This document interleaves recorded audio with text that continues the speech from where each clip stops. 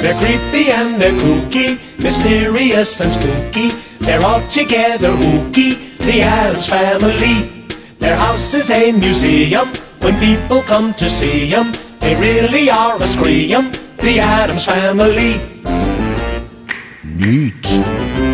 Sweet.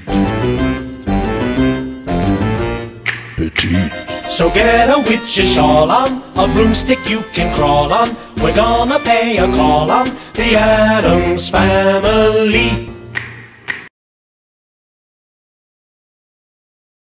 I pledge pledge allegiance to the flag of the United States of America and to the republic for which it stands, one nation, under God, indivisible, with liberty and justice for all. Good morning, Central Valley. It's Danny and Bella here with your announcements for today, November 8th, 2017. The lunch menu for today is breaded chicken, parm, and pasta with a garden salad, and tomorrow's lunch is the Thanksgiving feast.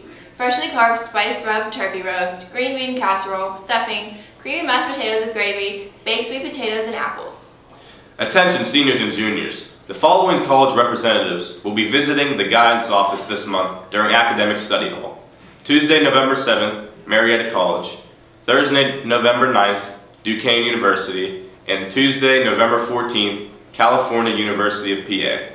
Sign-up sheets are located on the bulletin board just outside the guidance office. Attention NHS members, please sign up for a tutoring day at the middle school. The schedule is emailed to you. Any questions, please see Mrs. Jones. Caitlin Lyons is looking for volunteers for her senior project to help donate non-perishable food items to help benefit those in need this holiday season. Items needed include spaghetti and spaghetti sauce, canned soup, applesauce, paper products, peanut butter and jelly, pancakes and syrup, macaroni and cheese, canned fruit, vegetables, and cereal. If you would like to earn community service hours, volunteers are needed at the Festival of Trees over the holidays this year. This event will be held in Brady's Run Park. This is a great way to work on senior projects and community volunteer hours while also giving back to the community. If you would like to volunteer, stop down at the office and pick up a volunteer sign-up form. Attention juniors and seniors, the Monaca Fire Department is looking for help selling Christmas trees this holiday season. If interested, please contact the fire department by email at monacafire.com. These hours will count towards your senior project. Semi-tickets are on sale right now during lunches in the cafeteria. Tickets will be $80 per couple and the last day to purchase tickets will be Tuesday, November 14th. No exceptions. Cash or check made out to Central Valley High School. Any questions, please see Mrs. Whipke in NA 105 for details. In addition for this year's semi, song requests will be taken ahead of time using the QR code you were sent in your email.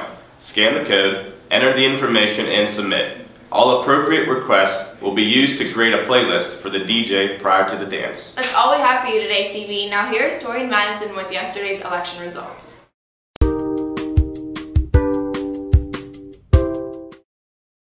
Hello, CV. Madison and I are back with yesterday's election results. Beaver County had one of its lowest turnouts in many elections. The following candidates were elected. Sally Mundy defeated Dwayne Woodruff for Justice of Supreme Court. The judges for the Superior Court included Debbie Kunselman, Mary Murray, Carolyn Nichols, and Maria McLaughlin.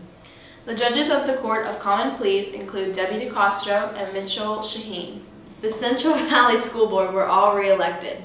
That's all we have for you today, CV. If you are eligible, be sure to go out and vote.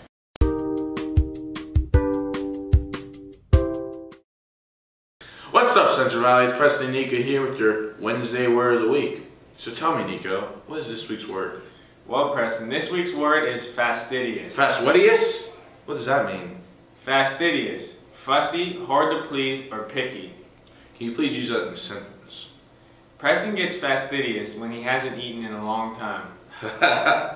That's pretty true, Nico. That's all we have for today, CV. Tune in next Wednesday for our word of the week.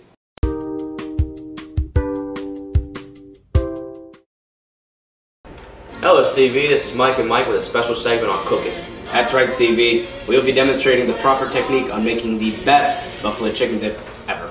Did you know March 23rd is National Chips and Dip Day? Americans eat an average of 1.2 billion pounds of this dip every year. Chips and dip is the most common Super Bowl snack. Chips and dip did not become popular until the 1950s. Buffalo flavored foods were originated in Buffalo, New York. We chose buffalo chicken dip because it is one of our favorite snacks and something that people like. It is also something different than the other common dips. Before we prepare any of our ingredients, a great chef always washes his paws. Ting-a-ling-a-ling, and you'll sing Vita Bella. Hearts will play tippy tippy tay, tippy tippy tay, like a guitar. Now, the ingredients are 8 ounces of softened cream cheese, When the stars 1 cup of shredded chicken, just like a pasta, oh, that's 1 4th cup of hot sauce, 2 cups of shredded cheese, and last but not least, ranch. Now we'll be putting all of the ingredients into a skillet to put it on the stove. When First, add our cream walk in a cheese. dream, But you know you're not dreaming, senor. Then we'll add our chicken, Excuse me, but you see, Hot sauce. back in old Napoli, that's amore. only use one and a half cups of cheese and save a half a cup for after. Now we'll put in our ranch. Now we're gonna stir the ingredients together until they're melted, or for approximately five minutes.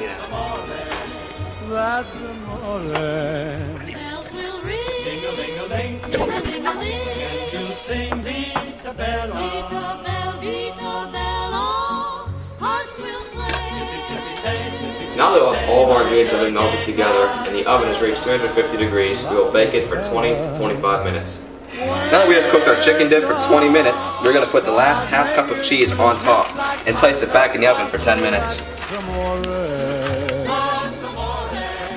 When you dance down the street with the crowd at your feet, you're in love. Since this is hotter than the Sahara during the summer, we're gonna let it cool for 10 minutes. In a dream, but you know you're not dreaming. Okay, Mike, grab the chips. We have let this cool for 10 minutes, so we're going to Flavor Town, baby. Bam! Mmm. Mmm. This is amazing. Even Gordon Ramsay couldn't critique this. Well, you said it first, Mike. This is the best buffalo chicken dip ever.